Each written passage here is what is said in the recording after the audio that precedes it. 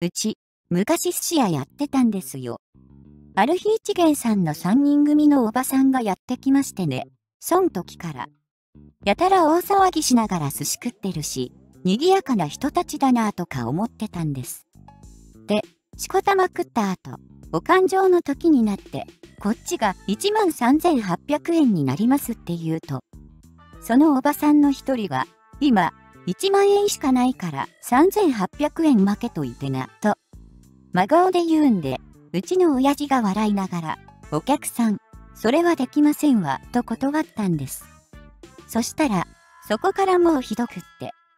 おばさんらが3人で、損してとれ言う言葉知らんのか。とか、この店は、逆に対する口の聞き方知らんとか、大声でわめき始めて、椅子は蹴飛ばすわで大騒ぎ。店の外では、通りかかった近所の人もやじ馬で集まってきて、もう大変で。母親が慌てて、裏で警察に電話したんで、俺も、警官が来るまで出口塞いで逃げられ、変容にしとったんです。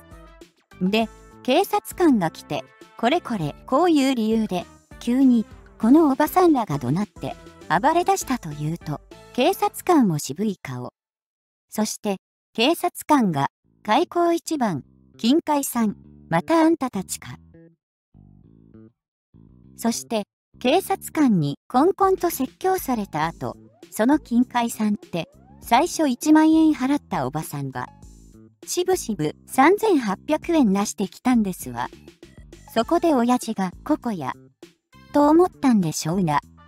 壊れたグラスと椅子を指さして、これの弁償代払い受てもらえますか？と言ったら、そのおばさんにまた火がついた。おばさんらは、そのまま警察引っ張って行かれて、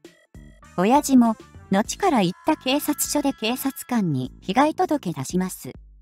て聞かれたそうだけど、電話で呼ばれたおばさんの家族に、金もろ手示談にしたとか。